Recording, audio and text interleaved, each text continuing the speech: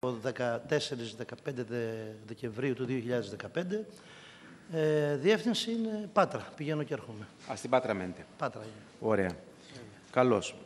Οπότε, να ορκιστείτε παρακαλώ. Θέλετε να ορκιστείτε πολιτικό όρκο με θρησκευτικό; Ό,τι θέλετε. Εσείς αποφασίζετε. Αυτά είναι προνόμιο του ορκιζομένου. Δεν σας είπε, δεν σας είπε ακόμα. Να σας πει. Να σας πει αν θέλει με θρησκευτικό.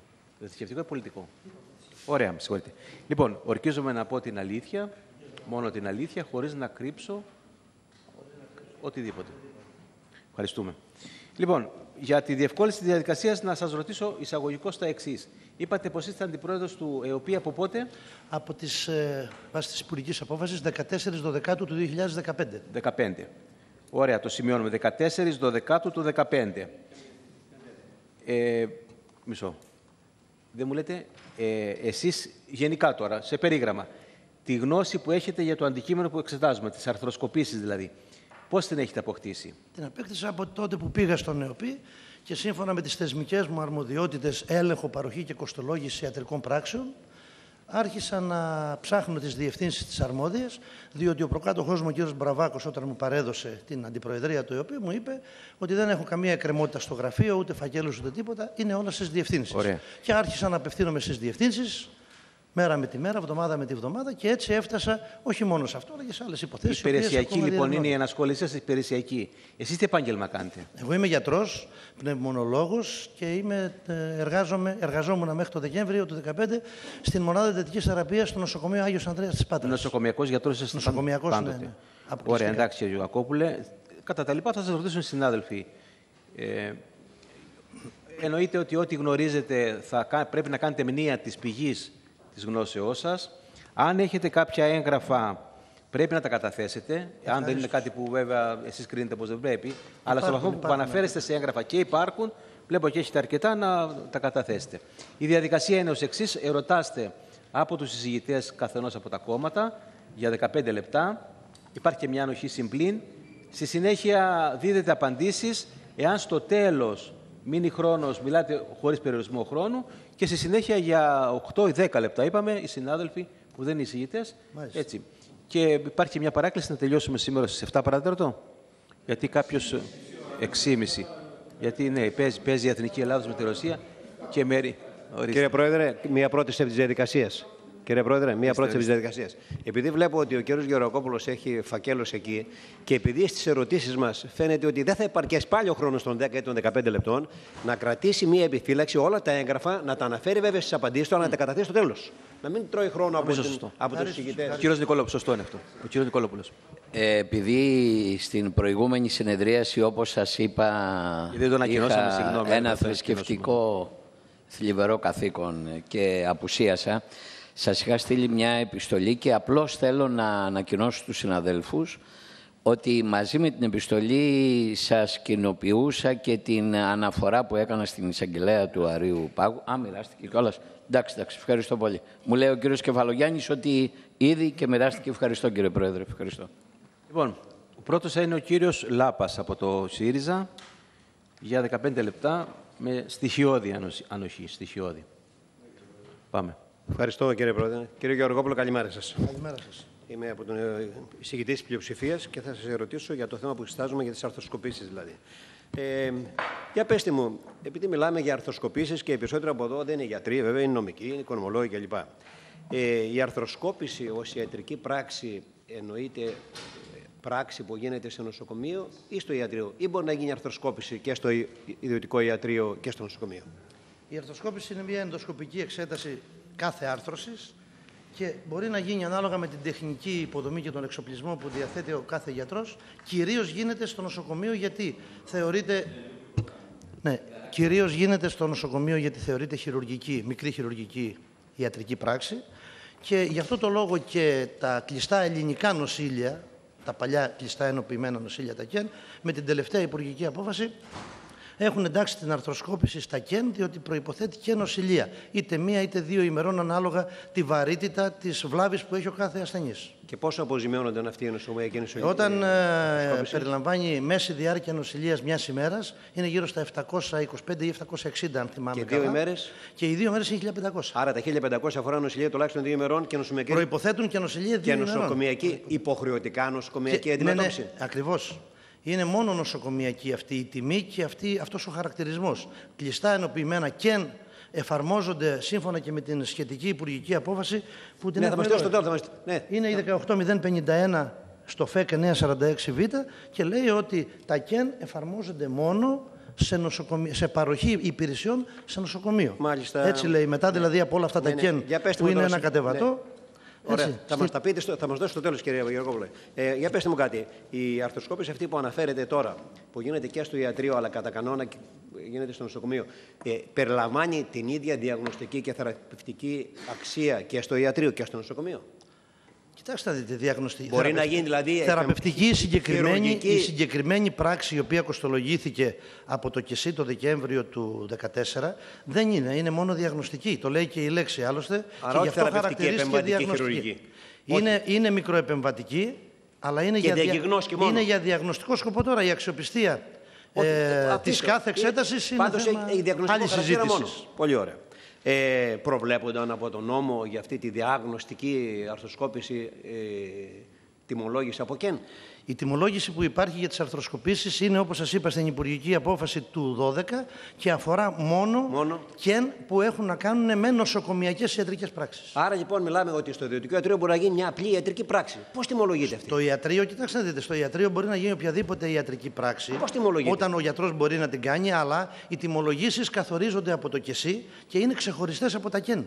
Θα έπρεπε δηλαδή να έχει γίνει άλλη τιμολόγηση για τη συγκεκριμένη ετούμενη εξέταση από το Αττικό νοσοκομείο τότε και όχι να ενταχθεί στα ΚΕΝ. Άρα μου λέτε ότι αυτή η και δικιά εξέταση- μου η ένσταση όταν το έμαθα στον ΕΟΠΗ και γι' αυτό άρχισα να ψάχνω Άρα μου το λέτε. φάκελο της υπόθεσης. Α, για να κλείσουμε το θέμα του ΚΕΝ. Άρα μου λέτε ότι στο ιατρείο η αρθροσκόπηση δεν μπορεί να αντιστοιχεί στο ΚΕΝ. Δεν μπορεί να αντιστοιχεί στο ΚΕΝ. Και στον κωδικό αυτό που Απαγορεύεται, είχε, είναι η αρθροσκόπηση παρά τον δεν νόμο μπορεί. αυτό. Πάει αυτό, τελειώσαμε. Πετε μου τώρα κάτι.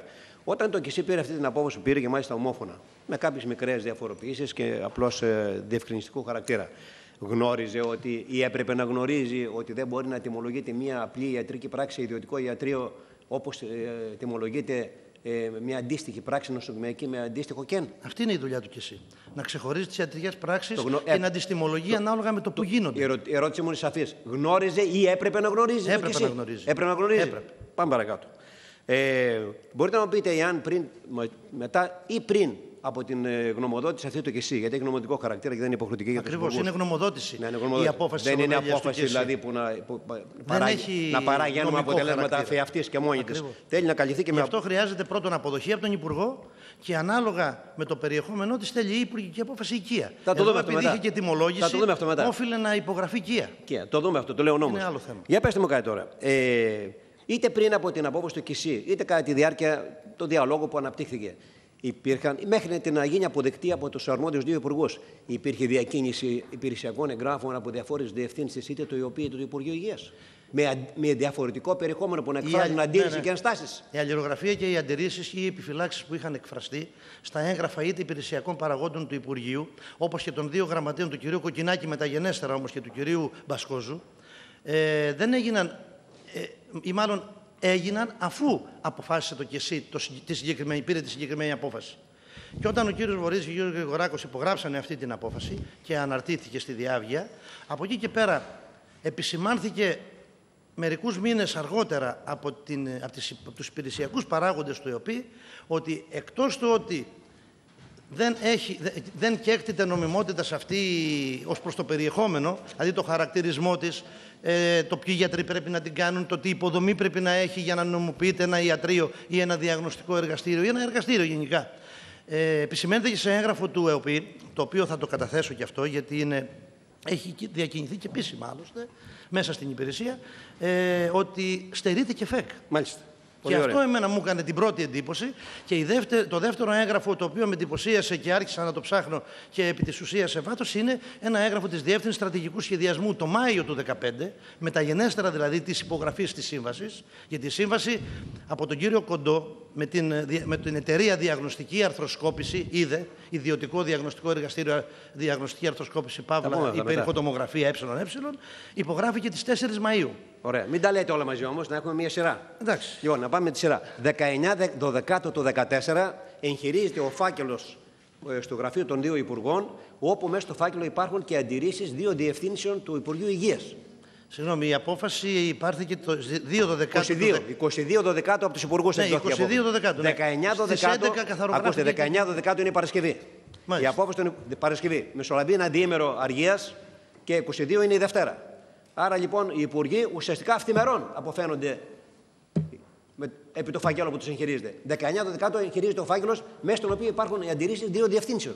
Μάλιστα. Της ανάπτυξης. Ε, ε, Πώς λέγεται να σας πω, Διεύθυνση Της Ανάπτυξη μονά- Μονάδων ναι, Υγείας. διεύθυνση ανάπτυξη τμήμα μονάδων υγείας Β ή και, Γ, και αν πού θυμάμαι φοεί. καλά. Είναι μάλιστα από διευθυντές και όλα τέτοιων υπηρεσιακών μονάδων. Και είπα, οι υπουργοί, όταν έχουν το φάκελο στα χέρια τους για να υπογράψουν μια υπουργική απόφαση, καταρχήν ένα υπουργός πρέπει να διερευνήσει για την νομιμότητα πριν εκδώσει την ε, υπουργική απόφαση. Νομίζω αυτή είναι η δουλειά του. Τι είναι η δουλειά του. Ε, Όταν επικυρώνει μια απόφαση του και εσύ, πρέπει να δει αν η απόφαση αυτή είναι Μπορούσε νόμιμη. να δει εύκολα ευχερός να καταλάβει τι ακριβώς, με ποιο τρόπο αποφαίνονται και από- με ποιο περιεχόμενο ήταν, εκφράστηκαν οι αντιρρήσεις και ενστάσεις των υπηρεσιακών μονάδων των εφισταμένων των υπουργών. Από ότι έχουμε δύο διευθύνσεις από το Υπουργείο Υγείας. Δεν μιλάω για τον ΕΟΠΗ, μιλάω για τις ενστάσεις. ΕΟΠΗ δεν ήξερε ακόμα τίποτα. Μιλάω για τις ενστάσεις του διευθύνσεων του Υπουργείου Υγείας, των εφισταμένων των δύο υπουργών. Γι' αυτός μιλάω, κύριε Γεωργόπουλε.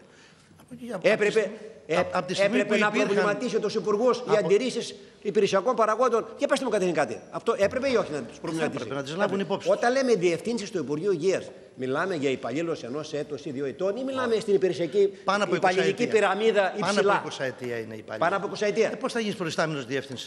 Ε, Εσείς τις είδατε αυτές τις αντιρρήσεις και τις ενστάσεις; Αυτές, τι- αυτά τα έγγραφα εγώ τα διάβασα πολύ είδατε. μεταγενέστερα, αφού είχα Κάποια ήδη στιγμή τα προκαλέσει είδατε. και την υποκοστολόγηση στο κεσί. Γιατί Άρα τα είδατε. Με το έγγραφο 18. Δεν λέω πότε, τα είδατε κάποτε. Τα είδα αυτά, Άλλο μετά. είναι η ερώτησή μου. Αργότερα. Αυτά τα έγγραφα των δύο διευθύνσεων, τώρα ως και, είστε και γιατρός και έμπειρος και στο ΙΣΥ χρόνια κλπ.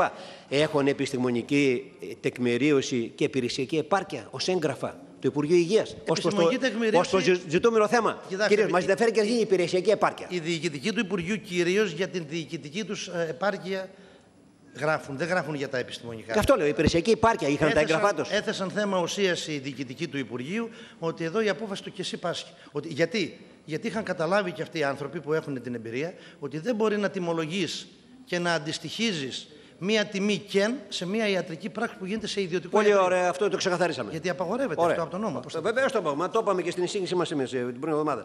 Ε, ε, το και εσύ, μετά την έκδοση απόφαση, παρακολουθούσε την, ε, τον διάλογο που ε, αναπτύχθηκε και την διακίνηση των εγγράφων; Μα είχε ερωτηθεί και απάντησε δύο φορές. Απάντησε Η τι δύο; Εκτελεστική Επιτροπή δια του κυρίου Σκανδαλάκη απάντησε την πρώτη φορά ότι εμένει στην απόφαση της. Παρά τις αντιρρήσεις των υπηρεσιακών του Υπουργείου Υγείας. Ναι, παρά τις αντιρρήσεις. Μάλιστα. Αυτό υποπτεύομαι και με εγώ, δύο γιατί από τα αποφάσεις. έγγραφα φαίνεται. Δύο φορές μετά Δύο. την έκδοση. Ομο... Τα έχω με σειρά. Μάλιστα. Αν τα έλεγα από την αρχή θα σας τα Επέμενε είχα το και απαντήσει εσύ, όλα. ακούστε κύριε Γεωργόπουλε, επέμενε το και εσύ μετά την έκδοση της επίμαχης απόφασης για, τιμω- για να τιμολόγησε; Όχι.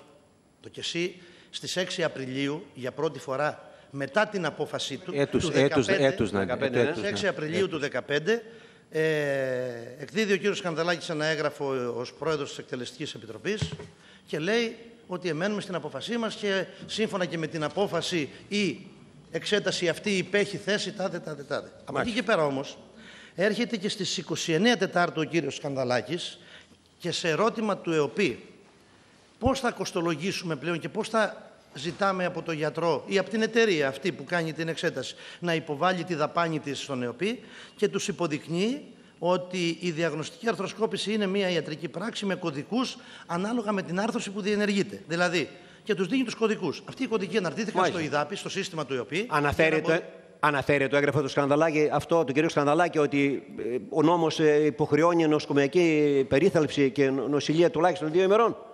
Λέει οι ιατρικές πράξεις αποζημιώνονται με το ποσό του ΚΕΝ στο οποίο αντιστοιχίζονται και που όπως προκύπτει από την επίσημη ιστοσελίδα του Υπουργείου Υγείας είναι το ΚΕΝ 20, μη 22α. Εγώ το εκλαμβάνω το αυτό, ΚΕΝ κύριε- 20, μη 22α όμως στην Υπουργική Το, απόφαση... δια- που το διαβάστε πριν, το είδαμε. Το είδαμε. όχι, λέει ότι έχει μια γενική περιγραφή, αρθροσκόπηση στο γόνατο, τον αγκώνα, τον νόμο ή το αντιβράχιο και κάτω από αυτό το κεν, όπως λένε και οι πληροφορικάροι, κρέμονται οι, δια- οι ιατρικές πράξεις οι οποίες με βάση την τιμή των 1.500 αποζημιώνονται. Κάθε μία από αυτές. Και δίνει και τους κωδικούς. Αυτοί οι κωδικοί αναρτήθηκαν στο ΙΔΑΠΗ, ενσωματώθηκαν και μετά όποιος γιατρός έκανε την αρθροσκόπηση τη διαγνωστική, ε, χρέωνε την αντίστη, τον αντίστοιχο κωδικό. Αν έκανε όμω τον κωδικό Χ627817.1, αν έκανε πηχιοκαρπική άλλο κωδικό, αγκώνα, ποδοκνημική γόνατο.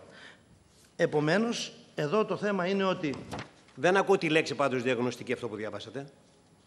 Όχι, λέει διαγνωστική αρθροσκόπηση όμως. Αρθροσκόπηση λέτε. Η, κω- η, η κωδική, η κωδική ιατρικών πράξεων που έχουν ε, ε, επικυρωθεί με άλλη υπουργική απόφαση, προγενέστερη του 11, ε, καταγράφουν ως διαγνωστική αρθροσκόπηση. Το- κάτω από το ΚΕΝ, για να ξέρετε το σύστημα πώς λειτουργεί, Πάντως το ΚΕΝ δεν κάτω μιλάει. από κάθε ΚΕΝ αντιστοιχούν 5, 10, 100 πράξεις ωραία. ιατρικές. Και κάθε μία από αυτές έχει την τιμή του ΚΕΝ. Μάλιστα. Αυτή είναι η, το σύστημα, έτσι λειτουργεί. Μάλιστα. Έτσι φτιάχτηκε, έτσι Ωραία, λειτουργεί. πολύ Από εκεί ωραία. και πέρα το ίδιο έγγραφο 29 Τετάρτου που, του, της Εκτελεστικής Επιτροπής του ΚΕΣΥ που απευθύνεται και στη Διεύθυνση Ανάπτυξης Μονάδων Τμήμα Γ και στη Γενική Διεύθυνση Οργάνωσης και Σχεδιασμού του ΕΟΠΗ και στη Διεύθυνση Στρατηγικού Σχεδιασμού του ΕΟΠΗ. Γιατί ήταν η μία από τις δύο διευθύνσεις που είχαν εκφράσει αντιρρήσεις πλέον Μάλιστα. και προς το ΚΕΣΥ και προς το Υπουργείο και προς τον κύριο Κοντό, που ήταν πρόεδρος τότε του ΕΟΠΗ, και λέει ότι οι ιατρικές πράξεις αποζημιώνονται με το ποσό του ΚΕΝ που αντιστοιχίζεται και που όπως προκύπτει από την επίσημη ιστοσελίδα του, ΕΟΠΗ είναι αυτό, ε, του, του Υπουργείου είναι αυτό και αυτό. Και λέει στο τέλος, η αποζημίωση της διαγνωστικής αρθροσκόπησης θεωρείται ίδια η ιατρική πράξη, είτε πραγματοποιείται σε νοσοκομείο, είτε στα διαγνωστικά ιατρία και ιδιωτικά ιατρία και κατά συνέπεια θα αποζημιώνεται το ίδιο, εννοεί με το ίδιο ποσό, Μάλιστα. εφόσον αυτό που αποζημιώνεται είναι πράξη καθεαυτή και όχι ο χώρος διενέργειας. Γιατί οι υπηρεσιακοί του ΕΟΠΗ έθεσαν και ζήτημα χώρου πλέον. Δηλαδή, πώς λειτουργεί αυτή η συγκεκριμένη εταιρεία, Το δούμε και αυτό. η οποία συνευλήθη με τον ΕΟΠΗ. Εδώ λοιπόν. Αυτό είναι φάουλ του ΚΕΣΥ την εποχή εκείνη. Δεν μπορεί να νομολογεί το ΚΕΣΥ όπως αντίστοιχα και ο Ιατρικός Σύλλογος. Θα το δούμε τώρα. στο Πέρα ρωτήσω. από το Θα προεδρικό σας ρωτήσω για διάταγμα το ιατρικό. 84 του 2001 αποφάσισαν κάτι το οποίο δεν προβλέπεται σε, κανένα, νομο- σε καμία νομοθετική διάταξη. Ότι δηλαδή μπορεί μία, εξε- μία ιατρική πράξη που κοστολογείται ως κεν, γιατί δεν έχει μόνο αρθροσκόπηση στο νοσοκομείο, έχει και μια νοσηλεία ολόκληρη, δύο ημερών. Διανυκτέρευση στο νοσοκομείο κτλ. Αυτή λοιπόν αντιστοιχήθηκε και αποζημιώθηκε το ίδιο και μια ιατρική πράξη που γίνεται για 5, 10, 20 λεπτά σε ένα ιδιωτικό ιατρείο. Μάλιστα. Αυτή είναι η, η ουσία του Για, προβλήματος. για πε- ναι, πάει αυτό, τελειώσαμε. Άρα λοιπόν το, και το και εσύ και ο, έχετε κάνει αμφιβολία ότι όλοι αυτοί οι παράγοντες, υπουργοί, υπηρεσιακοί παράγοντες, το και εσύ, γιατροί έμπειροι και επιστήμονες και δάσκαλοι πανεπιστημιακοί γνώριζαν τι ακριβώς πρόκειται για το, για, για, για το ΚΕΝ, για τον Οσίλιο; Το ΚΕΝ το γνώριζαν. Είχαν καμιά αμφιβολία; Οι Όχι. υπουργοί το Αυτό- γνώριζαν, ο ένας αυτό- ήταν γιατρός, ο άλλος ήταν, Αυτό ε, κρατώ νομικός. και πάμε, και Αλλά πάμε, είναι πα- υπουργός και και πάμε οφείλει να παρακάτω. το- για το πετε μου γνωρίζει. κάτι. Υπάρχουν Ε, και σύμβουλοι που τους συμβουλεύουν, εδώ στην- υπάρχουν και υπηρεσίες που τους λένε: Όπα, το ΚΕΝ εδώ δεν μπορεί να πάει, δεν αντιστοιχίζεται γιατί δεν είναι Το νοσοκομιακή. στόπαν οι νοσηλεία». υπηρεσίες, αλλά δεν, εφάρμο- δεν τον υλοποίησαν, κυρία Γεροκόπουλα. Τι υπηρεσίες, το, το στόπαν με δύο έγγραφα υπηρεσίες και διευθύνσεις και όλα. Και το έγραψα στα παλιά του στα παπούτσια. Πάμε παρακάτω. Για πετε μου κάτι. Εδώ το ιδιωτικό ιατρείο του κ. Σαλμά συστεγάστηκε μια απόφαση του ΙΣΑ, του Ιατρικού Συλλόγου Αθηνών, με ένα ιδιωτικό διαγνωστικό εργαστήριο. Ε, Με μια εταιρεία και τα που επωνομάζεται Ακούστε, διαγνωστικό εργαστήριο. Επισημένω και το ιατρείο και το εργαστήριο παρέχουν συναφείς ιατρικές πράξεις. Ναι. Ορθοπαιδικού χαρακτήρα. Είχε εκ του νόμου δικαίωμα να εγκρίνει τέτοια Αυτό- συστέγαση ο Ιατρικός Σύλλογος Αθηνών. Το προεδρικό Σύμφωνα διάστημα. με τον νόμο, και σας αναφέρω κύριε, έχω μπροστά μου κύριε Γρήγορα. Άρθρος 100, άρθρος Το έχω κι εγώ 46 γι' αυτό, θα το του νόμου συζητώ. 42-72, όπου απαγορεύεται ρητά η συστέγαση διαγνωστικού εργαστηρίου με ιατρικό. Όταν ειδικό παρέχουν ιατρείο, συναφείς όταν παρέχουν ιατρικές συναφείς- υπηρεσίες. συναφείς υπηρεσίες. Εδώ ήταν νόμιμη η απόφαση στέγασης. Αυτό ήταν και μία από τις αιτιάσεις και αντιρρήσεις της ε, Διεύθυνσης Συμβάσεων του ΕΟΠΗ προς τον Ιατρικό Σύλλογο. Ότι είναι παράνομη η αδειοδότηση της συγκεκριμένης εταιρείας για αυτό το αντικείμενο. Διαγνωστική αρθροσκόπηση. Για πες Διότι τώρα. συστεγαζόταν το ιατρείο του κυρίου Σαλμά στην Κηφισίας με τη συγκεκριμένη εταιρεία, ε, την ετερόρυθμη αυτή εταιρεία στην αρχή, η οποία είχε αλλάξει και τέσσερις Τον μορφές. οποίο συμμετείχε ο γαμπρός του και ο σύζυγός του, να το πούμε. Εδώ Και ο κύριος συμμετείχαν, Αναγνωστό- και ο ε, κύριος τρία Αναγνωστόπουλος- άτομα στην εταιρεία Ο κύριος αυτή. Αναγνωστόπουλο ορθοπαιδικός. Ο κύριος Μαρκόπουλος, όχι Αντροσόπουλο, μετά ήταν ο Αναγνωστόπουλο. Στην αρχή ήταν ο κύριος Βαρλής, που ήταν και ομόρυθμο μέλος.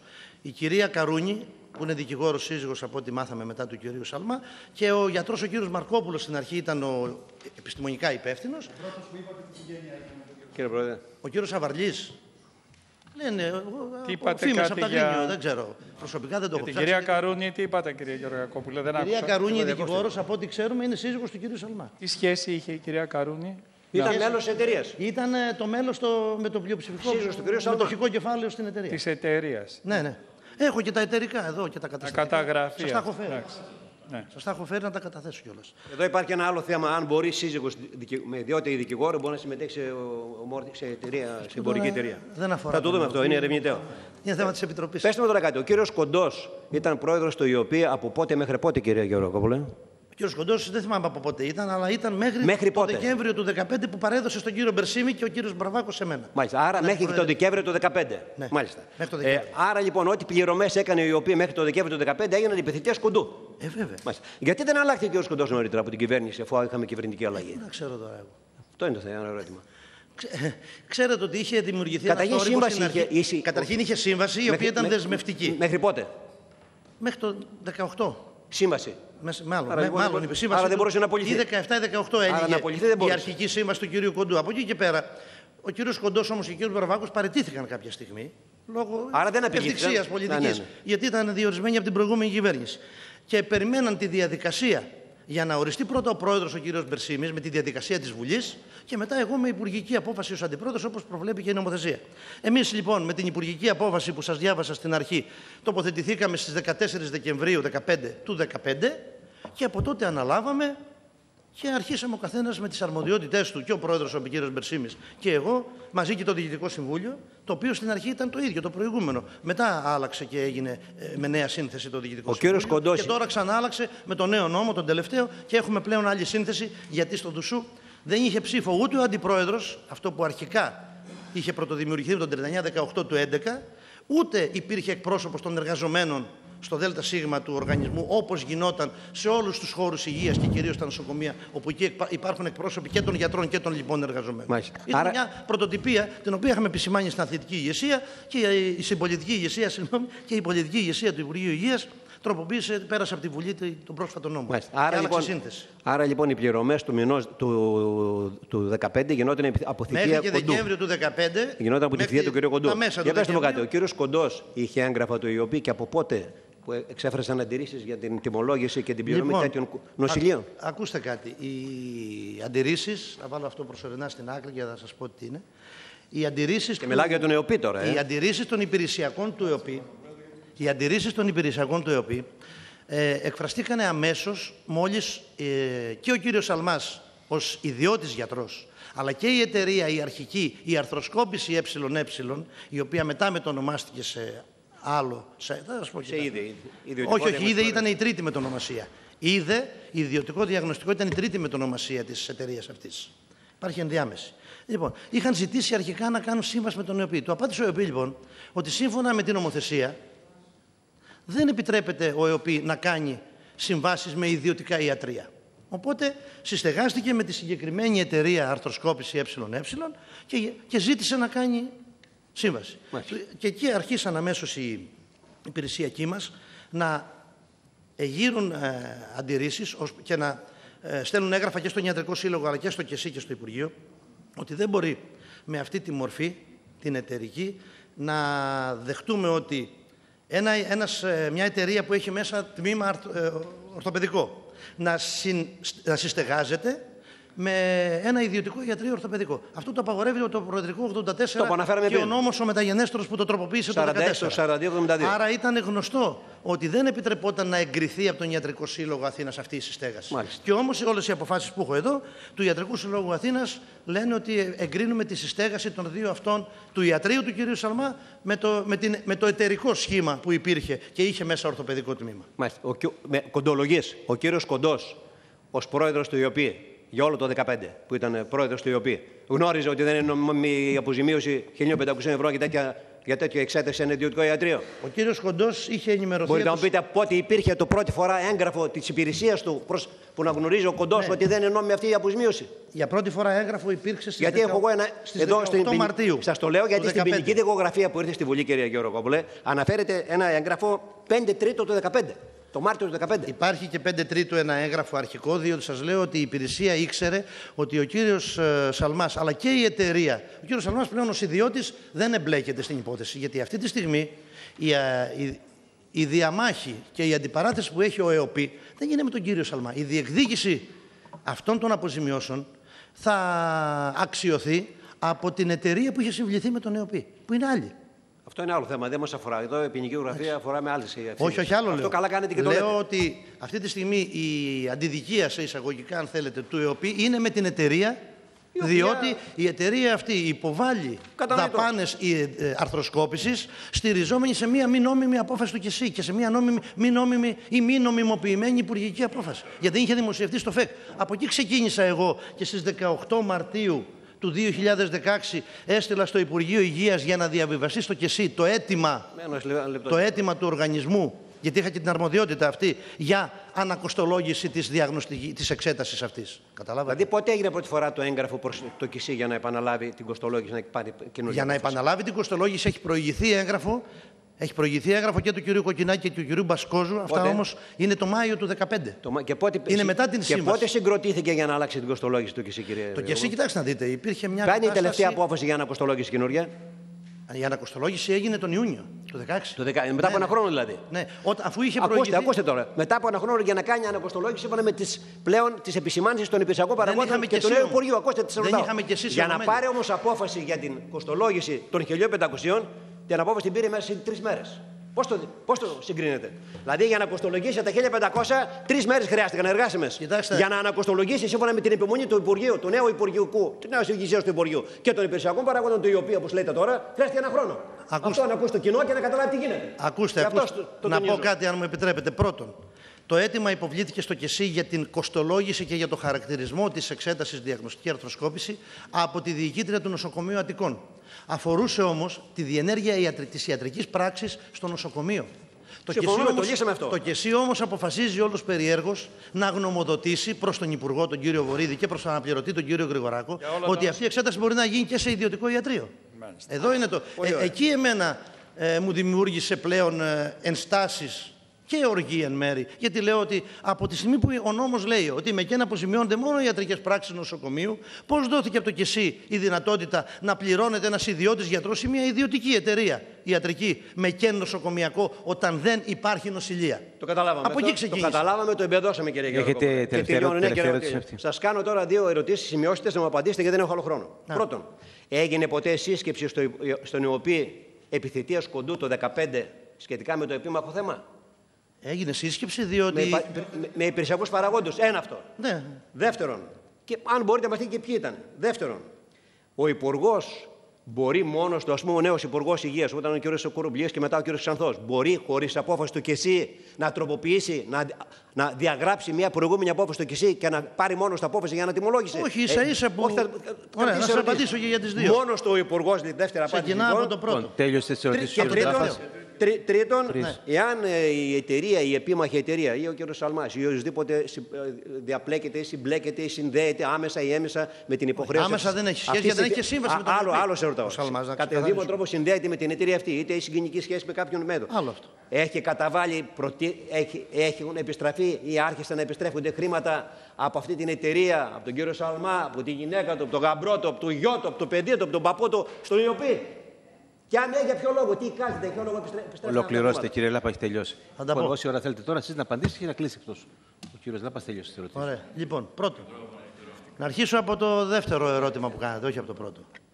Η απόφαση για να προχωρήσει ο κύριος Κοντός στη λήψη απόφασης, στην υπογραφή δηλαδή απόφασης και μετά στην υπογραφή της σύμβασης, γιατί ο κύριος Κοντός τον Μάρτιο, αν δεν κάνω λάθος, του 2015 υπέγραψε την απόφασή του ότι εγκρίνουμε τη σύναψη σύμβασης και η σύμβαση συνήφθη τις ε, 4 Μαΐου του 2015.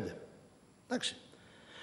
Όλος αυτός, όλη αυτή η ανταλλαγή και ο όγκος των εγγράφων που ανταλλάχθηκαν στην ουσία και με το Υπουργείο είναι και μετά, το, δε- μετά τη σύμβαση που υπογράφηκε με τον ΕΟΠΗ της εταιρείας είδε διαγνωστική αρθροσκοπήση.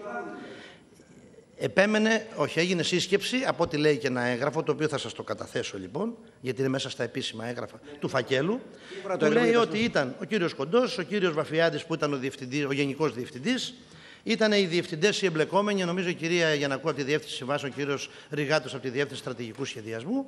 Και ήταν παρόν και ο κύριος Σαλμάς και Στην ίδια σύσκεψη. στη σύσκεψη αυτή που Πώς τι; αποφάσισε ότι θα γίνει σύμβαση με, το Σαλμά, με, το- με τη διαγνωστική αρθροσκόπηση. Όχι με το Σαλμά. Επαναλαμβάνω για να μην υπάρχει και σύγκριση. Πάντως ο Σαλμάς ήταν εκεί. Παρόν ήταν και ο κύριος Σαλμάς με την ιδιότητα λέει, του πρώην Υπουργού και του βουλευτή. Το λέει το έγγραφο αυτό. Μάρτιο του 2015. Ποια Με ιδιότητα; την ιδιότητα του πρώην, βουλευτή και, ε, του πρώην Υπουργού και Βουλευτή. Υπάρχει έγγραφο, θα σας το Ναι, ναι, δώσω. ναι, ναι. Υπάρχει έγγραφο αυτό στην υπηρεσία σας; Ναι, ναι.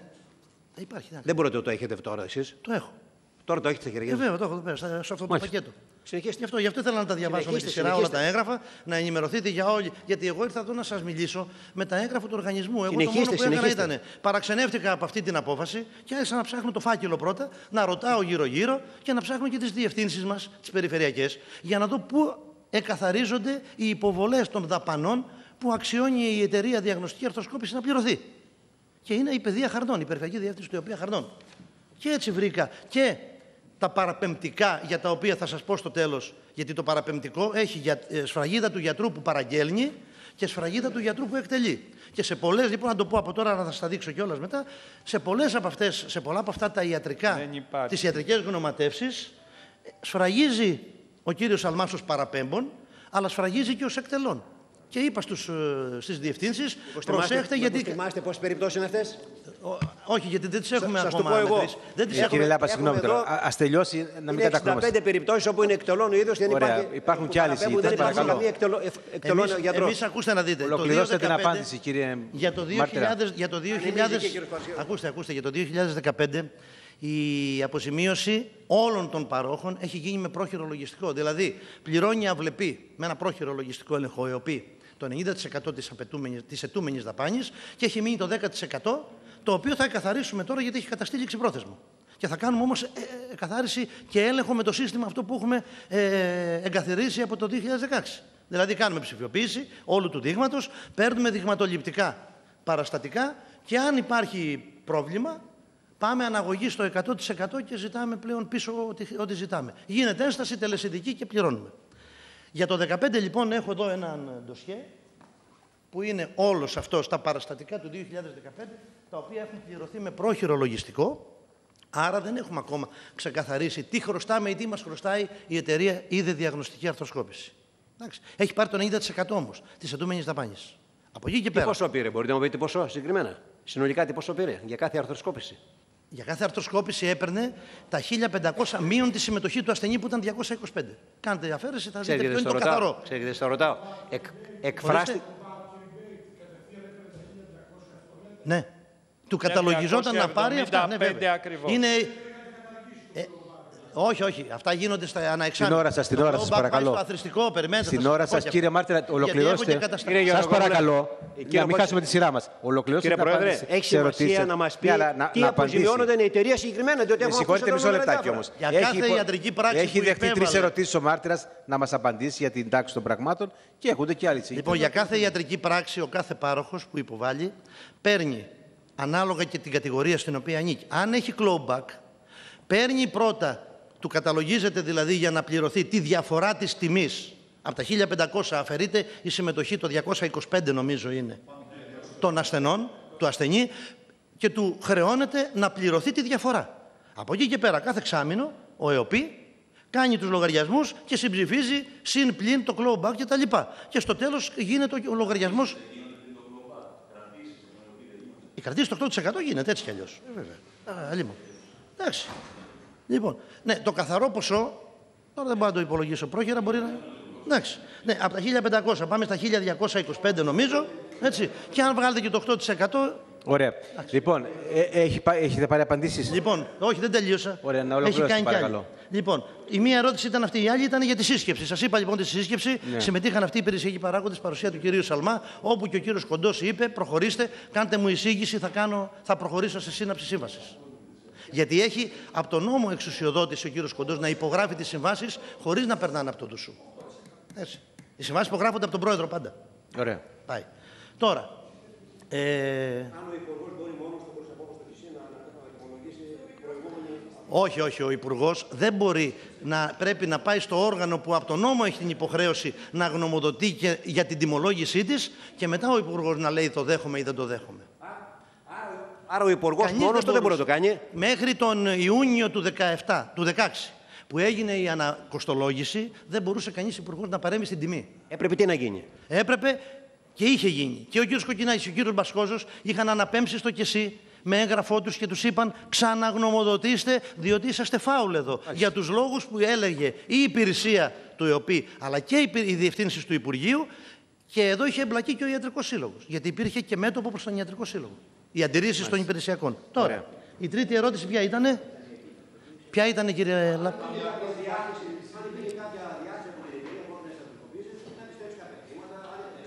Κάτι είπε για 90%, αν μου επιτρέπετε. Κάτι είπατε για 90%.